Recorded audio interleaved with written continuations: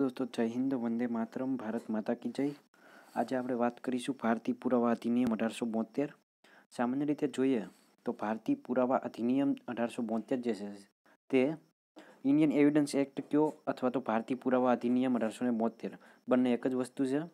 ભારતીય પુરાવા અધિનિયમ અઢારસો બોતેરનો બેઝની વાત કરીએ, સામાન્ય રીતે કોઈ પણ વસ્તુ હોય તો તેનો બેઝ પહેલાં ક્લિયર કરવો જોઈએ.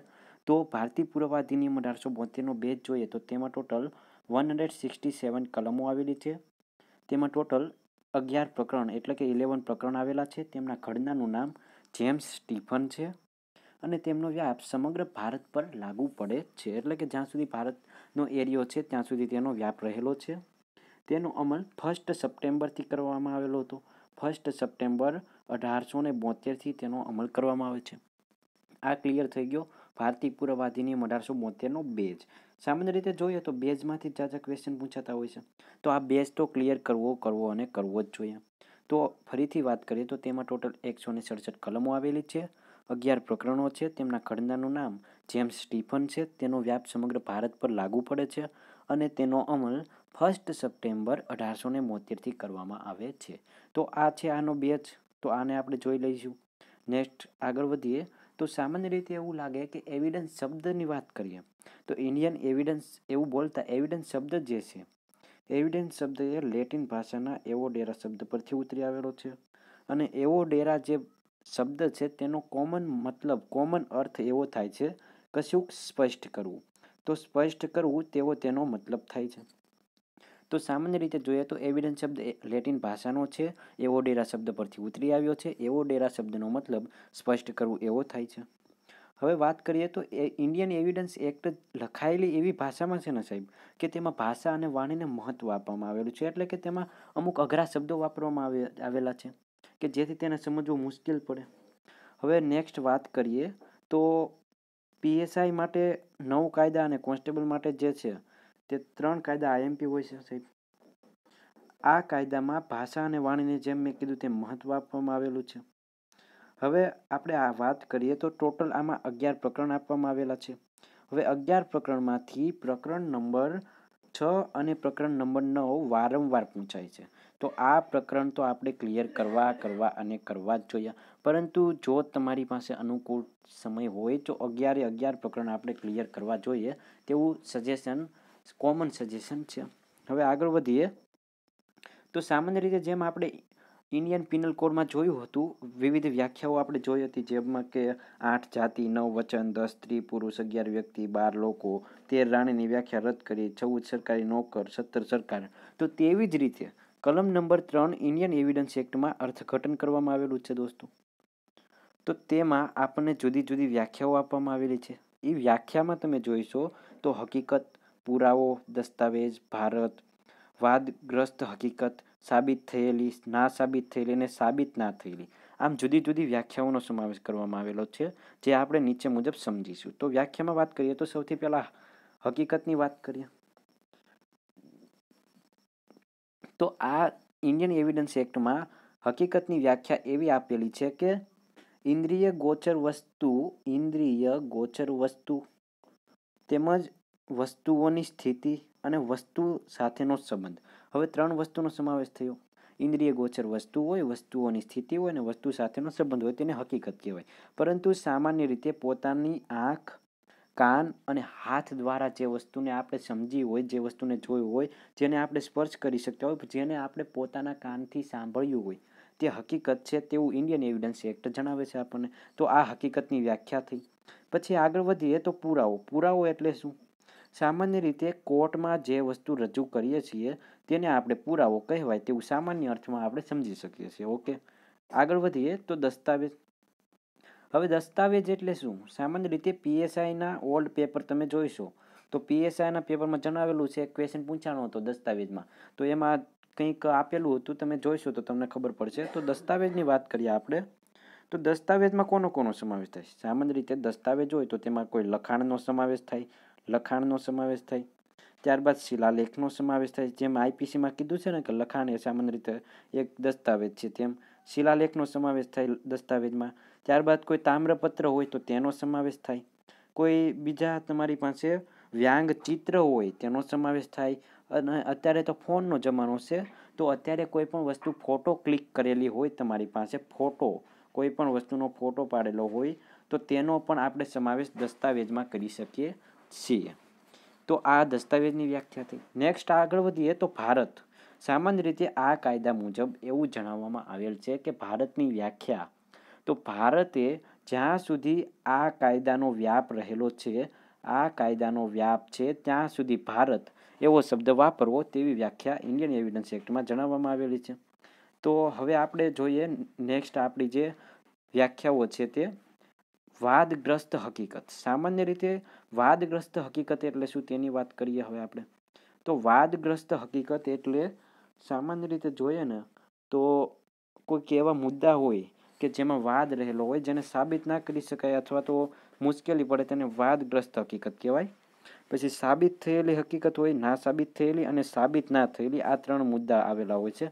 પીએસઆઈની એક્ઝામમાં ખાસ અને મહત્ત્વ આપવામાં આવે છે. સાબિત થયેલીની વાત કરીએ આપણે તો સાબિત થયેલી એટલે એવી હકીકત કે જે કોર્ટમાં વિચારણા બાદ હકીકત સાબિત થાય તેને સાબિત થયેલી કહેવાય. કોર્ટમાં કોઈ પણ વસ્તુની વિચારણા થઈ અને તે ટ્રુ સાબિત થાય અથવા તો ફોલ્સ સાબિત થાય, તો એ સાબિત થયેલી ગણાય. અને ના સાબિત થયેલીની વાત કરીએ તો જ્યારે પહેલાં ના હોય ત્યારે એવું કહેવામાં આવે છે કે જે કોર્ટ દ્વારા ખરેખર સાબિત થયેલી નથી. પરંતુ જ્યારે સાબિત ના થયેલી એવો શબ્દ વપરાય અને વચ્ચે ના આવે એટલે તે એવી કોઈ પણ મેટલ છે કે જે હજી સોલ્વ થયેલ નથી. કોર્ટમાં જેની વિચારણા ચાલે છે તે રિયલમાં સાબિત થઈ શકે તેમ છે અથવા તો સાબિત ના પણ થઈ શકે. જ્યારે વચ્ચે ના આવે ત્યારે તેને સાબિત ના થયેલી તેવી રીતના સમજવું જોઈએ. નેક્સ્ટ આપણે વધીએ તો હવે આઈએમપી કલમ જોઈશું આપણે કે જે હર વખતે પૂછાય છે પીએસઆઈ અને પોલીસ કોન્સ્ટેબલમાં. તો કલમ નંબર આઠની વાત કરીએ તો હેતુ તૈયારી પહેલાંનું કે પછીનું વર્તન? સામાન્ય રીતે કોઈ પણ આરોપી હોય તો તેનું વર્તન કેવું હોય છે? કોઈ પણ ગુનેગાર હોય તે કોઈ ગુનો કરે છે? કોઈ હેતુ હોય તેનો, કાયદેસરનો કે ગમે તે રીતે તેનો હેતુ હોય, તે તૈયારી પહેલાંનું વર્તન કેવું હતું? અને તે પછીનું વર્તન કેવું હતું? તે કલમ નંબર આઠમાં આપણને જણાવવામાં આવે છે. કલમ નંબર નવ, ઓળખ પરેડની વાત કરવામાં આવી છે. સામાન્ય રીતે કલમ નંબર નવ જે છે તે ઓળખ પરેડની વાત થઈ છે. તો ઓળખ પરેડ કરે કોણ? સૌથી પહેલો ક્વેશ્ચન એ પીએસઆઈની એક્ઝામ ઓલ્ડ પેપરમાં આવી ગયેલું છે કે ઓળખ પરેડ કોણ કરાવી શકે? તો મામલતદાર જે હોય સાહેબ, મામલતદાર દ્વારા ઓળખ પરેડ થઈ શકે છે. પછી આગળ વધીએ તો કઈ વસ્તુની ઓળખ પરેડ જે છે તે થઈ શકે? તો સામાન્ય રીતે ભોગ બનનારની લાશ હોય તેની થઈ શકે. ઘરેણાની થઈ શકે, કપડાની થઈ શકે, વાહન હોય તેનું, તેની થઈ શકે અથવા તો તેના કોઈ સાક્ષી રાખેલા હોય, તો તેની પણ ઓળખ પરેડ કરી શકીએ આપણે. અને મામલતદાર દ્વારા તે થાય છે તે યાદ રાખવું. હવે નેક્સ્ટ કલમ નંબર અગિયાર એલઈબી સામાન્ય રીતે એલઈબી એટલે શું? કલમ નંબર અગિયાર એલઈબીની આપણને જણાવવામાં આવેલી છે કે જેને અનંત હાજરી કહેવાય. જ્યારે ગુનેગાર કોઈ ગુનો કરે છે, પરંતુ ગુનેગાર તે સ્થળે હાજર છે નહીં. તો તેને એલઈબી કહેવામાં આવે છે. દ્રશ્યમ નામનું ફિલ્મ છે તેમાં દર્શાવવામાં આવેલું છે. એલઈબી વિશે વાત થઈ છે. તો ગુનાહિત સ્થળે ગુનાહિત હાજર ના હોય તો તેને એલઈબી કહેવાય. ગુનેગાર જે છે, તે ગુનો જે જગ્યાએ થયો છે, તે સ્થળે તે હાજર નથી તેવું સાબિત થાય છે ત્યારે. કલમ નંબર સત્તર, સ્વીકૃતિની વાત થઈ છે. સામાન્ય રીતે કોઈ પણ કાયદાનો અથવા તો કોઈ પણ ભંગ થયો છે અથવા તો કોઈ ગુનો થયો છે, તેને સ્વીકારવામાં આવે છે, તો તેને સ્વીકૃતિ કહેવાય. કલમ નંબર સત્તર, ક્લિયર.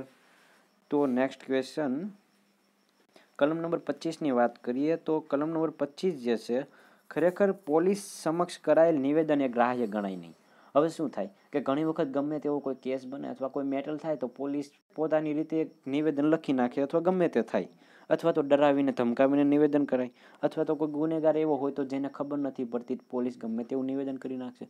એટલા માટે પોલીસ સમક્ષ કરાયેલ નિવેદન એ ગ્રાહ્ય ગણાય નહીં. કલમ નંબર પચીસ જણાવે છે એવું. કોઈ પ્રલોભન હોય અથવા તો કોઈ વચન હોય તો તે નિવેદન હોઈ શકે છે. સામાન્ય રીતે આપણે કોઈને વચન આપેલું હોય તો તે નિવેદન શક્ય થઈ શકે. પણ જ્યારે મામલતદારની હાજરીમાં લેવાયેલું કોઈ નિવેદન હોય તો એ ગ્રાહ્ય ગણવું જોઈએ તેવું કલમ નંબર પચીસ આપણને જણાવે છે.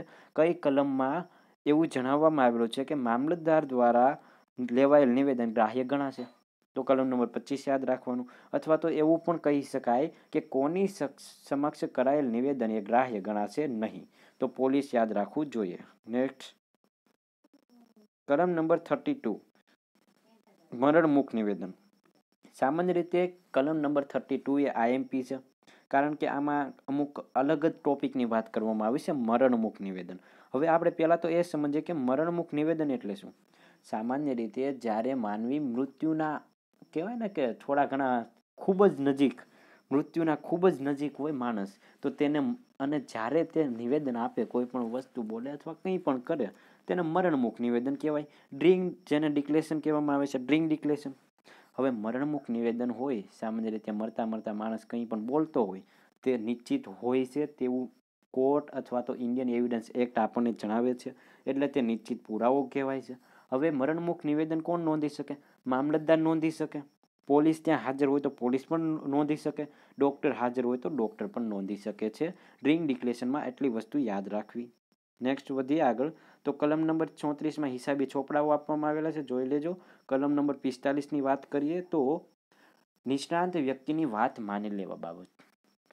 સામાન્ય રીતે કોઈ પણ વ્યક્તિ નિષ્ણાંત વ્યક્તિ છે, કોઈ પણ ક્ષેત્રનો. માની લો કે વિજ્ઞાન કળાના નિષ્ણાંત છે, કોઈ આંગળીની છાપ, ફિંગરપ્રિન્ટના કોઈ નિષ્ણાંત છે, હસ્તાક્ષરના નિષ્ણાંત હોય અથવા તો વિદેશી કાયદાના કોઈ નિષ્ણાંત છે, તો તે જે પણ સલાહ આપે છે, જે સૂચનો આપણને આપે છે, તે આપણે ગ્રાહ્ય ગણમાં જોઈએ, તે વાત નિશ્ચિત છે, તે વ્યક્તિને આપણે જે છે તે વાત માની જ લેવી જોઈએ. તો તેવું કલમ નંબર પિસ્તાલીસમાં આપણને જણાવે છે. તો અહીંયા આપણે જોઈ શકો છો કે કરંટ અફેર્સની જે ક્લાસ છે સાહેબ, રોજ સાત વાગે લાઈવ થાય છે. તો આપ જો કોઈ ગવર્મેન્ટ એક્ઝામની પ્રિપરેશન કરો છો, તો કરંટ અફેર્સની ક્લાસ આપણે અહીંથી મળશે અને ફ્રી પીડીએફ પણ મળશે. તો જોઈન કરી શકો છો. કલમ નંબર ફોર્ટી એઇટ હક અને રિવાજોની વાત થઈ છે. હવે કલમ નંબર ફોર્ટી એઇટમાં હક અને રિવાજોની જે વાત કરવામાં આવી છે, તો હક અને રિવાજોમાં શું હોય કે બહોળા વર્ગો સમાવેલા હોય. હવે વર્ગો હોય તે બહોળો વર્ગ અહીં સમાવેલો હોય છે, કે જેમાં હક અને રિવાજોની વાત થઈ હોય. કલમ નંબર ફોર્ટી નાઇનની વાત કરીએ તો પ્રથાઓ અને માન્યતાઓનો સમાવેશ થાય છે. જુદી જુદી પ્રથાઓ હોય, કોક સમાજમાં અલગ પ્રથા હોય, લગ્નની પ્રથા હોય અથવા તો મરણની પ્રથા હોય કે ગમે તે પ્રથા હોય, અલગ અલગ હોય છે અને અલગ અલગ માન્યતાઓનો સમાવેશ થાય છે. જે કલમ નંબર ઓગણપચાસમાં વાત કરી. કલમ નંબર પચાસ જે છે સાહેબ, એમાં આપણને જણાવવામાં આવેલું છે સગપણ. સગપણ જે હોય છે સાહેબ માની લો કે કોઈ આરોપી અથવા કોઈ પણ વ્યક્તિ છે સાહેબ, તેનું સગપણ મિત્ર હોય, કોઈ ફ્રેન્ડ હોય, કોઈ ભાઈબંધ હોય, કુટુંબના કોઈ હોય, વગેરે જે છે તેને સગપણની વાત કરવામાં આવી છે. કલમ નંબર પચાસની વાત કરીએ અહીં તો. કલમ નંબર પચાસ તમે જુઓ તો તેમાં મિત્રો અથવા તો ઘરના સભ્યોનો સમાવેશ કરી શકીએ છીએ. હવે નેક્સ્ટ આગળ વધીએ. કલમ નંબર સિક્સટી ટુ પ્રાથમિક પુરાવો. સામાન્ય રીતે પ્રાથમિક પુરાવો એટલે શું? Original copy. કોઈ પણ વસ્તુ બની છે અથવા તો તમારી પાસે કોઈ પણ પ્રકારનો પુરાવો રહેલો છે સાહેબ, તે સાચો પુરાવો છે, તે ખરી નકલ છે અથવા તો જે રિયલમાં જે પુરાવો હોવો જોઈએ તે છે તો તેને ઓરિજિનલ પુરાવો કહેવામાં આવે છે, પ્રાથમિક પુરાવો કહેવામાં આવે છે જે કલમ નંબર સિક્સટી ટુ મુજબનો હોવો જોઈએ. ઓકે, નેક્સ્ટ વાત કરીએ ગૌણ પુરાવો. કલમ નંબર સિક્સટી થ્રીમાં વાત કરીએ તો ગૌણ પુરાવો એટલે ઓરિજિનલ જે પુરાવો હોય, પ્રાથમિક જે પુરાવો છે સાહેબ તેની ઝેરોક્સ તેની કોપી તેની ઝેરોક્સ એટલે ગૌણ પુરાવો, સાહેબ. તો હવે ગૌણ પુરાવો જે છે તે પ્રાથમિક પુરાવાની ઝેરોક્ષ છે. વાત ખતમ. કલમ નંબર સિક્સટી થ્રીમાં બતાવવામાં આવેલી છે. પરંતુ કલમ નંબર પાસઠમાં તમે જોશો તો ત્રેસઠની હાથે જોડાયેલી છે. કલમ નંબર પાસઠ એવું કહે છે કે કેવા સંજોગોમાં ગૌણ પુરાવો જે છે તે યોગ્ય ગણાય. તો સામાન્ય રીતે જ્યારે આપણો પ્રાથમિક પુરાવો જે હોય છે, સાહેબ, તે ફાટી ગયેલો હોય, ખોવાઈ ગયેલો હોય, સળગી ગયેલો હોય, અથવા તો કોઈ મોટા જથ્થામાં રહેલો છે, અથવા તો પ્રાથમિક પુરાવો જે છે, તે સામા પક્ષકારની પાસે રહેલો છે, સામા પક્ષકાર જે છે, સાહેબ, આપણો, તેની પાસે આપણો ઓરિજિનલ પુરાવો રહેલો છે. તો એ સમયે આપણો ગૌણ પુરાવો આપણે ગ્રાહ્ય ગણવો જોઈએ. ઓકે, તો આ વાત છે કલમ નંબર પાસઠની, યાદ રાખી લેજો. આગળ જોઈએ તો કલમ નંબર સેવન્ટી ફોર, જાહેર દસ્તાવેજો. હવે જાહેર દસ્તાવેજોમાં વાત કરીએ તો સરકારી દસ્તાવેજો તેમજ ભારત અથવા વિદેશમાં રમાતી જે કોમનવેલ્થ ગેમ્સ હોય સાહેબ, તેના રેકોર્ડ જે હોય તેને જાહેર દસ્તાવેજમાં સમાવેશ કરવામાં આવેલું છે. ટોટલી સરકારી દસ્તાવેજો હોય સાહેબ, તેને જાહેર દસ્તાવેજ કહેવામાં આવે છે અને કોમનવેલ્થ ગેમ્સ જે ખેલવામાં આવે છે વર્લ્ડ વાઇડ તેમના રેકોર્ડ તેનું એક સારામાં સારું ઉદાહરણ છે. ઓકે, તો યાદ રાખી લેજો આને. કલમ નંબર ચુમ્મોતેર કલમ નંબર પંચોતેર ખાનગી માલિકીના દસ્તાવેજો. કલમ નંબર પંચોતેરમાં ખાનગી માલિકીના દસ્તાવેજો આપેલા છે સાહેબ. કોઈ પણ વ્યક્તિ છે તો તેમની ખાનગી રીતે જે પણ વસ્તુ રહેલી છે તેના દસ્તાવેજો હોય તેને ખાનગી દસ્તાવેજો કહેવાય. તમારી પોતાની કાર છે, તમારી પોતાની જમીન છે, તો તે કલમ નંબર પંચોતેર મુજબ ખાનગી માલિકીના દસ્તાવેજો તરીકે તેનું આપણે ઓળખી શકીએ છીએ.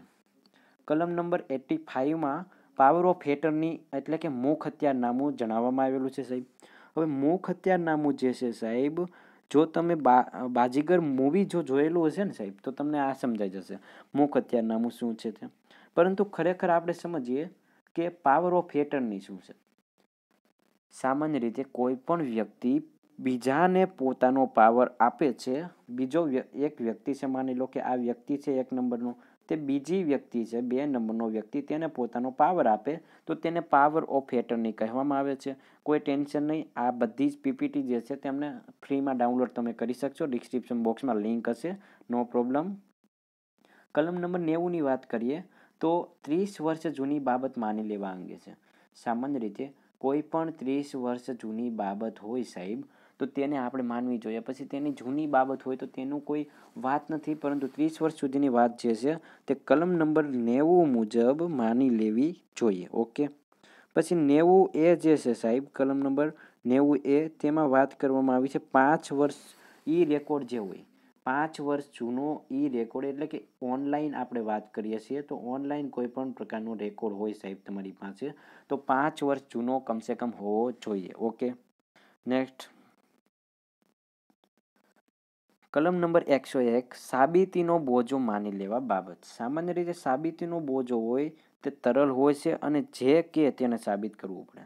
સામાન્ય રીતે માની લો કે તમે કોઈ બસમાં મુસાફરી કરો છો અને કંડક્ટર પાસેથી તમે ટિકિટ લેતા નથી અથવા તો કોઈ પેલું થાય છે અથવા તો ટિકિટ લેવાનું ભૂલી ગયા તો જે વ્યક્તિ તમને કહેશે તેને સાબિત કરવું પડશે. હવે કોઈક તમને કહેશે કે તમે ટિકિટ નથી લીધી અને કંડક્ટર કહેશે કે મેં ટિકિટ આપી દીધી છે. તો જે કહે છે તેને સાબિત કરવું પડશે. ઓકે? તો તેને સાબિતીનો બોજો કહેવામાં આવે છે, જે હંમેશા કેવો હોય છે? તરલ હોય છે. સાબિતીનો બોજો કેવો હોવો જોઈએ? કલમ નંબર એકસો એક જણાવે છે. હું નથી કહેતો તરલ હોવો જોઈએ. આગળ વધીએ. કલમ નંબર એકસો બાર. અવરસ પુરુષની પુરુષની વાત કરવામાં આવી છે. અવર, અવરસ પુત્રની, તો એ તમે વાત જોઈ લેજો. કલમ નંબર એકસો બાર આઈએમપી છે, યાદ રાખવા જેવી છે. નેક્સ્ટ કલમ નંબર તેર એ. કલમ નંબર તેર એમાં જણાવવામાં આવેલું છે કે પરણિત સ્ત્રીના આપઘાતમાં મદદ કરી હોય એવું માની લેવું જોઈએ. સામાન્ય રીતે કોઈ પરણિત સ્ત્રી હોય અને તેમને આપઘાત કરવામાં મદદ કરી હોય તો તે કલમ નંબર કઈ લાગુ પડે? કલમ નંબર એકસો તેર એ લાગુ પડે છે, વિદ્યાર્થી મિત્રો, અને તેમાં જુદી જુદી સજાઓ જે છે તેનો સમાવેશ થાય છે. હવે કલમ નંબર તેરમાં વાત કરીએ તો દહેજ મૃત્યુ. દહેજ મૃત્યુ જે હોય છે સાહેબ, તેમાં વાત કરીએ આપણે તો લગ્નનો સમય સાત વર્ષ કે તેથી ઓછો હોવો જોઈએ અને દહેજની માંગણી વારંવાર કરવામાં આવતી હોય. અને સ્ત્રીએ આપઘાત કર્યું હોય તેવું પણ થઈ શકે છે અથવા તો આપઘાતની કોશિશ પણ કરી હોઈ શકે છે. તો આને શું કહેવામાં આવે છે? દહેજ મૃત્યુ, જેને આપણે ડાવરી ડેથ તરીકે ઓળખીએ છીએ. અને કલમ નંબર એકસો તેર બી છે. આ સોરી કલમ નંબર ટાઈપિંગ મિસ્ટેક છે. એકસો તેર બી ઓકે તો આ યાદ રાખી લેજો. દહેજ મૃત્યુ, જેને ડાવરી ડેથ તરીકે ઓળખવામાં આવે છે. ડાવરી ડેથ કઈ? ડાવરી ડેથ તરીકે તેને ઓળખવામાં આવે છે. ઓકે તો યાદ રાખી લેજો કલમ નંબર એકસો તેર બી. નેક્સ્ટ વાત કરીએ તો સોરી, ડાવરી ડેથ તો ફરીથી રિપીટ થશે. તો લગ્નગાળો સાત વર્ષથી ઓછો હોવો જોઈએ, દહેજની માંગણી વારંવાર થતી હોય અને આપઘાતની કોશિશ જે છે સાહેબ, આપઘાત કરેલું હોય અથવા તો આપઘાતની કોશિશ કરેલી હોય, તો તેમને ડાવરી ડેથ કહેવામાં આવે છે. આપ જોઈ શકો છો અહીં. આગળ વધીએ. કલમ number one hundred eighty eight કોણ સાક્ષી બની શકે? સામાન્ય રીતે તો તમને એમસીક્યુ આપેલા હશે, તો તેમાં પ્રશ્ન પૂછાય એવો કે નીચેનામાંથી કઈ વ્યક્તિ સાક્ષી બની શકે? તો જુદા જુદા આપણને ઓપ્શન આપેલા હોય, ઓકે? પરંતુ તમે સમજેલા હશો તો તમને યાદ આવશે. કલમ નંબર એકસો અઠ્યાસીમાં વાત કરીએ કે કોણ સાક્ષી બની શકે? જે બાળક કુમળી વયનું બાળક હોય, તે સાક્ષી બની શકે નહીં, ઓકે? તો જે વ્યક્તિ કહી શકાય ને કે જે વ્યક્તિ ઉંમરલાયક હોય અથવા તો પુખ્ત વયનો વ્યક્તિ હોય તે આપણું સાક્ષી બની શકશે. પરંતુ કુમળી વયનું બાળક બની શકે નહીં, વૃદ્ધ વ્યક્તિ બની શકે નહીં, પાગલ વ્યક્તિ બની શકે નહીં અને શારીરિક કોઈ રોગી હોય તે પણ બની શકે નહીં. તો આને બાદ કરવાતા જેટલા વ્યક્તિઓ વધે છે સાહેબ, તે સાક્ષી બની શકે. તો આ વ્યક્તિઓને બાદ કરતાં જેટલા વ્યક્તિ વધે છે, તે સાક્ષી બની શકે છે. નેક્સ્ટ કલમ નંબર એકસો ને ઓગણીસ, મૂંગા સાક્ષી. સામાન્ય રીતે શું થાય? ઘણી વખત કોઈ પણ કેસમાં સાક્ષી બનેલા હોય, પરંતુ મૂંગા હોય. તો તે ત્યારે કેવું થાય? તો મૂંગા સાક્ષી હોય છે સાહેબ, ઈશારો અને શ્રેષ્ઠાઓથી આપણને સમજાવવાની કોશિશ કરી છે. લખીને તે પુરાવો આપી શકે છે અને દુભાગ્યા હોય તે લખશે. આટલી વાત છે આમાં. પરંતુ હંમેશા યાદ રાખજો સાહેબ, આ વસ્તુ તો ઠીક છે, પરંતુ નીચે જે લખેલું છે, મૂંગા સાક્ષીનું નિવેદન હંમેશા મેજિસ્ટ્રેટ પ્રત્યક્ષ હોવું જોઈએ. ઓકે? અને બીજી વસ્તુ યાદ રાખવી કે મૂંગા સાક્ષી દ્વારા અપાયેલું જે પણ આવેદન હોય છે સાહેબ, તેને આપણે કેવું સમજવું જોઈએ? તે આપણે બોલાયેલું છે તેવું સમજવું જોઈએ. ઓકે, કલમ નંબર એકસો ને ઓગણીસની વાત છે સાહેબ.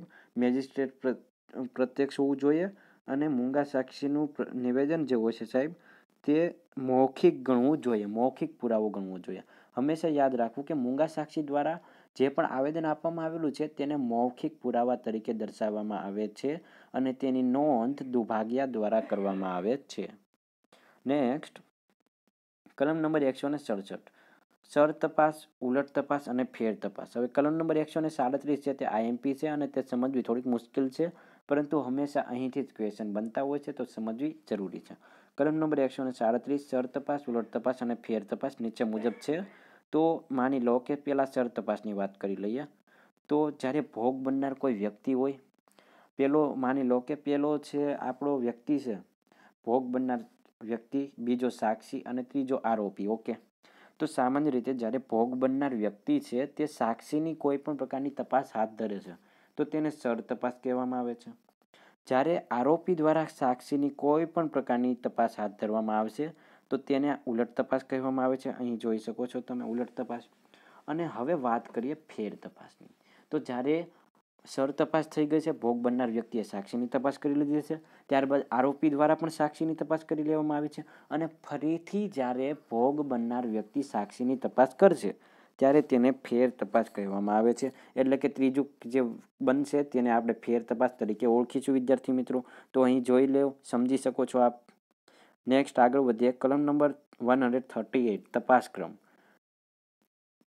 આઈ થિંક પીએસઆઈની એક્ઝામમાં પૂછાયેલ છે તપાસક્રમ તપાસક્રમ જે છે દોસ્તો, જેમ મેં વાત કરી કે આપણે સૌથી પહેલાં તો શું થશે? સર તપાસ થશે, ત્યારબાદ ઉલટ તપાસ થશે અને ત્યારબાદ ફેર તપાસ થશે. તો આ શું છે? તપાસનો ક્રમ છે. આ ક્રમ આપણે સ્ટેપ બાય સ્ટેપ જ યાદ રાખવો જોઈશે.